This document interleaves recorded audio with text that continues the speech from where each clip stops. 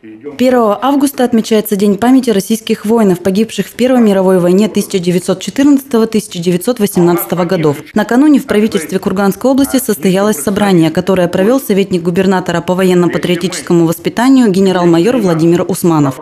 На повестке совещания подготовка к празднованию на территории Курганской области столетия со дня начала Первой мировой войны.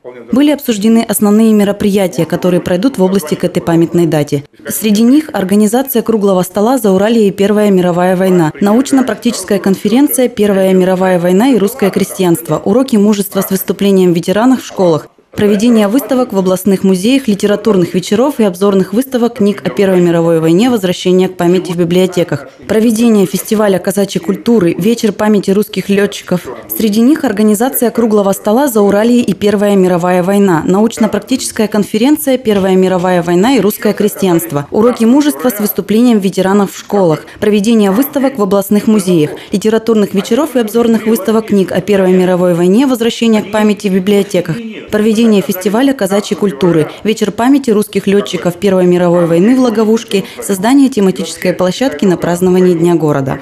Это была предтеча гражданской, Октябрьской революции, гражданской войны. Для нас Первая мировая война разгромила нашу страну, Российскую империю.